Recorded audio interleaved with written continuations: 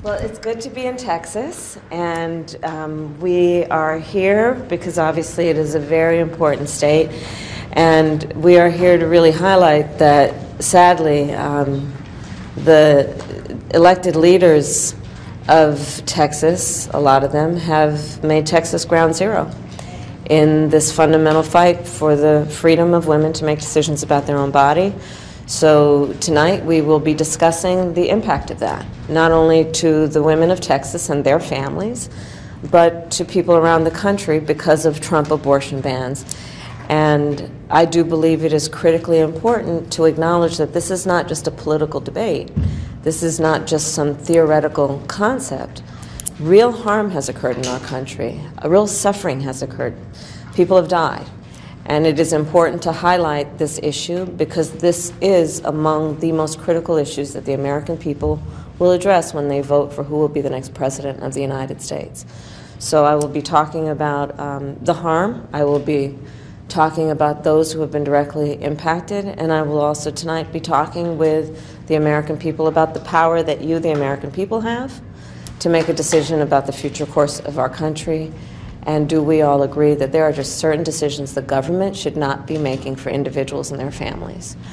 Um, I also do want to address the comment that uh, Donald Trump made about America being the trash can of the world, the, whatever he said, something along those lines. Uh, you know, it's just another example of how he really belittles our country. This is someone who is a former president of the United States, who has a bully pulpit, and this is how he uses it to tell the rest of the world that somehow the United States of America is, is, is, is trash.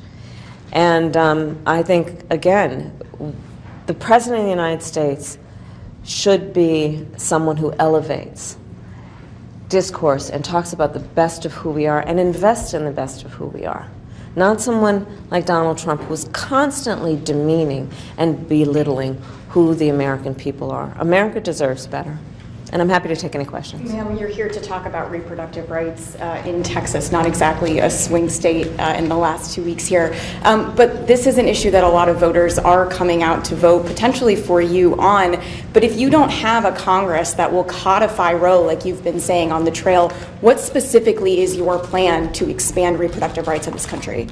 Well, when Texans vote for Colin Allred for the United States Senate, we will be in a position where we actually will be closer to being able to put back in place the protections of Roe v. Wade. And as I have said, and it is my pledge, when Congress passes a bill putting back in place reproductive freedom, I will sign it into law. But if you don't have a friendly Congress, there's no plan B, there's no other plan? We keep fighting. And our country, America, has a history of understanding. We don't give up the fight for freedom. We do not give up the fight when it comes to some of the most basic freedoms any individual in our country has a right to expect, including the right of a woman to make decisions about her own body and not have her government tell her what to do. Madam Vice President, staying on Congress, Politico is reporting a House Freedom Caucus leader says that North Carolina should consider giving Trump its electors before votes are counted because the Helene damage was in predominantly Trump counties. What's your reaction to language like that? America deserves to have leaders who respect the importance of one of the pillars and foundations of our democracy, which is free and fair elections, and that they are not manipulated by elected leaders for the sake of their own political future or their own political uh, strategy for how they themselves want to succeed. This has to be about what's in the best interest of the American people.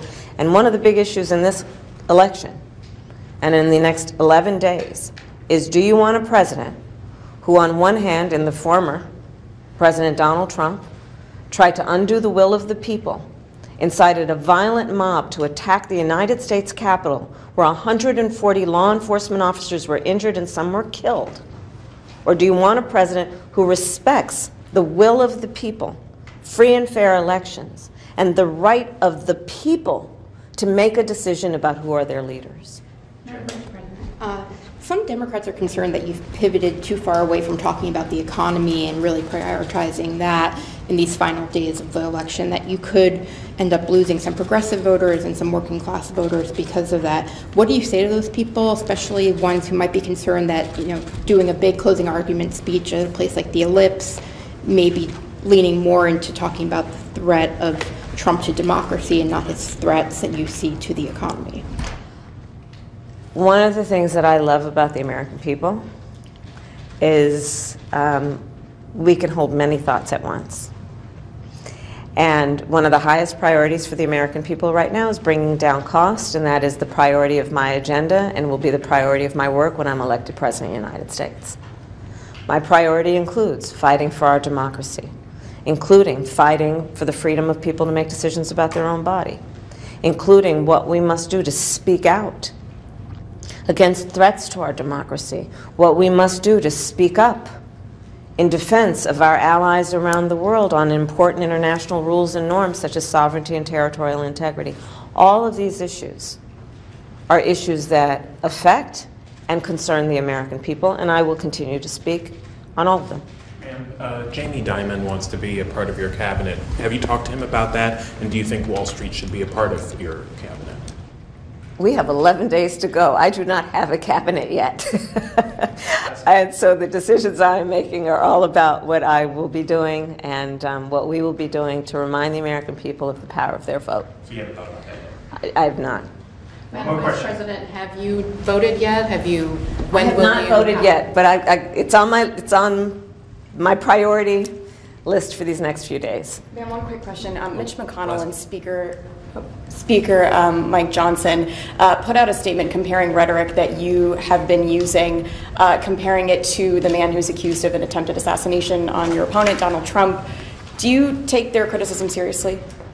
Well, listen, we all must speak out against any form of political violence, and I'm very clear about that. No one should be the subject of violence, much less political violence. But the American people deserve to be presented with facts and the truth. And the fact and the truth is that some of the people closest to Donald Trump when he was president, generals, including most recently John Kelly, a four star Marine general, have been very clear about the danger and the threat that Donald Trump poses to America and the fact that he is unfit to serve. And the American people deserve to hear that and know about that so they can make a decision based on what's in the best interest of themselves and their families. We talked to a lot of voters, some who are undecided, and while they are turned away from Donald Trump, they also have told us that um, they felt like they haven't heard enough of your policies specifically. Do you feel that in your messaging in these final days of the election, you're striking the right balance against Trump and talking about the specifics of your own policy enough?